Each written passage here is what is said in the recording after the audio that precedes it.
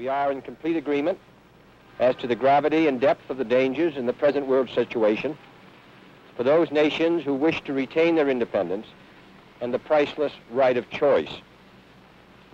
We reaffirm our vigorous support of the United Nations and our determination to oppose the attempts currently being made to undermine its authority as an instrument for peace and security in the world.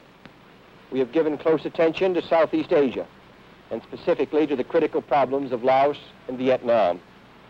We are agreed upon both the importance and the difficulty of working toward satisfactory relations with the Soviet Union. We also reaffirm the determination of our governments to do their utmost to bring to a successful conclusion within a reasonable period of time the negotiations in Geneva for the cessation of nuclear weapons tests under effective inspection and control.